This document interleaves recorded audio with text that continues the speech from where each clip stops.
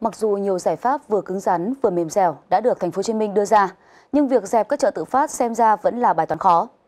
Theo thống kê, hiện trên địa bàn thành phố này vẫn còn có tới 561 chợ cóc mọc tự phát. Thành phố Hồ Chí Minh nhiều năm nay vẫn được coi là một mảnh đất lành để các loại chợ tự phát mọc lên một cách khó kiểm soát.